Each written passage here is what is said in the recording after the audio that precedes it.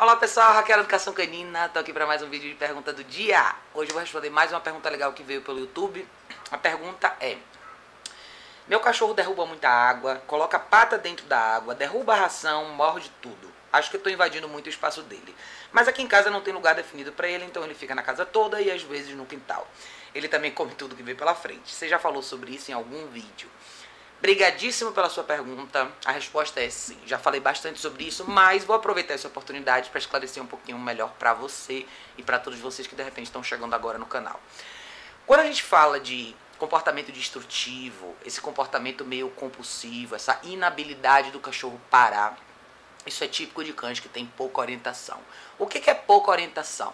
É quando o cachorro vive com você, você põe ele dentro da sua casa e você não necessariamente define o que é certo e o que é errado, ou seja, você não necessariamente prepara um cenário para o seu cachorro acertar, você não define uma rotina de convívio onde existe engajamento educativo, ou seja, trabalho de condicionamento todos os dias para o seu cão acertar, saber o que é certo e o que é errado. Resultado, o cachorro fica perdido, ele tem um, um espaço enorme, ele circula pela casa inteira e ele começa a errar. Os erros começam a trazer uma certa, um certo desconforto, uma certa frustração para a família e Normalmente o que a família faz, ela só lida com o cachorro quando ele necessariamente está errando. Então por que, que isso é o processo contrário, né? Porque você falhou em educar o cachorro. Quando a gente fala de educar o cachorro, a gente tem que falar de estabelecer uma relação de confiança entre você e o animal. Como que você estabelece isso? Ensinando coisas para o seu cachorro, tá? É importante que o seu cachorro passe por uma série de etapas. Uma dessas etapas é restrição, é, alimentação, é condicionamento. Você tem que avaliar o que, que acontece na sua casa, na sua rotina do dia a dia, o que, que você faz com o seu cachorro e o que, que você ainda não faz, tá? Essa é uma etapa, o que você está vivendo aí é o típico cenário caótico, onde o cachorro não necessariamente tem essa orientação de ninguém e ele está errando constantemente. Agora vem as minhas perguntas para você, tá? O que, que você faz com esse cachorro todos os dias? Qual é a rotina do cachorro? Ele acorda de manhã, o que, que acontece ao longo do dia? Quantas pessoas vivem na sua casa? Qual a responsabilidade de cada membro da família em relação a esse animal? Alguém é responsável pelo exercício físico desse cachorro, levar ele para passear? Alguém é responsável pela alimentação? Quais são os horários da alimentação, tá?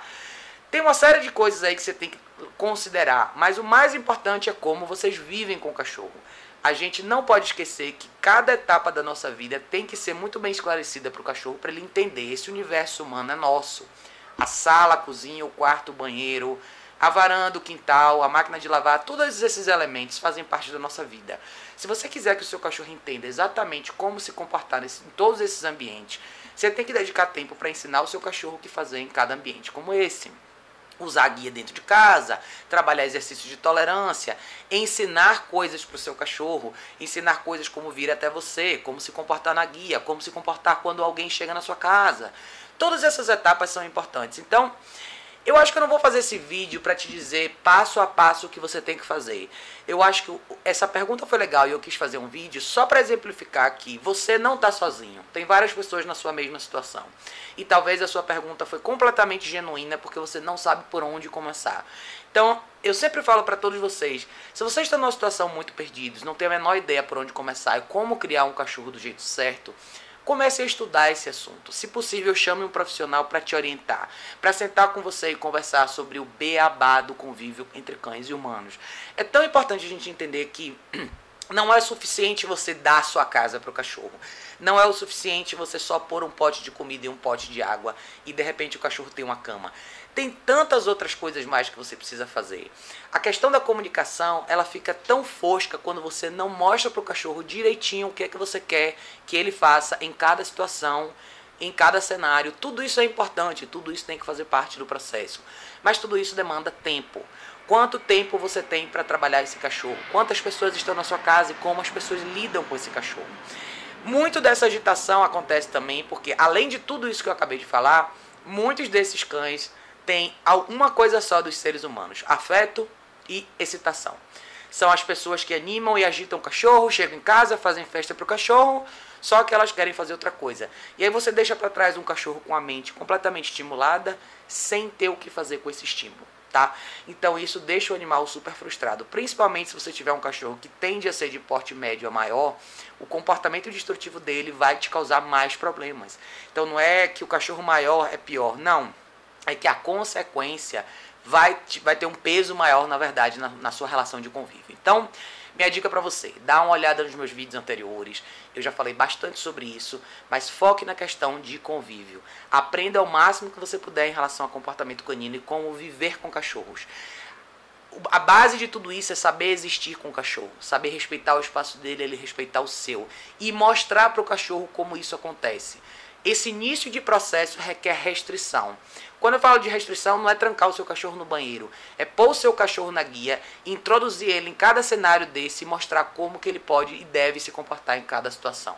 Use uma guia e a comida do dia, você já vai começar a introduzir uma série de coisas legais para esse cachorro, tá? Dá uma olhada nos meus vídeos na prática que eu tenho algumas coisas legais que vão poder te ajudar.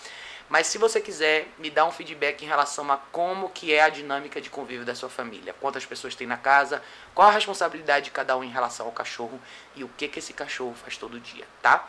Isso é super importante, isso faz toda a diferença. Então, avalie tudo isso. Todos vocês que estão assistindo esse vídeo, se todos vocês estão nessa mesma situação, têm essa mesma dificuldade, sempre avaliem o roteiro, as 24 horas do dia. Cada minuto importa e o que esse cachorro faz todo dia importa. Se esse cachorro passa muito tempo sozinho, muito provavelmente a ligação dele com você vai ser menor e ele vai tender a tomar decisões sozinhos, sozinho versus por um peso na sua opinião em cima da decisão que ele vai tomar. Isso tem a ver com relacionamento, com hierarquia, com a forma como você estabelece a tomada de decisão de um cachorro, que na minha opinião no início tem que ser sua, até que o cachorro entenda e entre no hábito de tomar decisões sozinhos, entendendo o que é certo e o que é errado, tá bom? Mas não vou me alongar, se você quiser, me passe um pouco mais de detalhes e para todos vocês sempre fiquem à vontade para deixar a opinião de vocês nos comentários, é sempre um prazer ouvir de todos vocês, tá bom? Beijo enorme, a gente se vê em breve no próximo vídeo.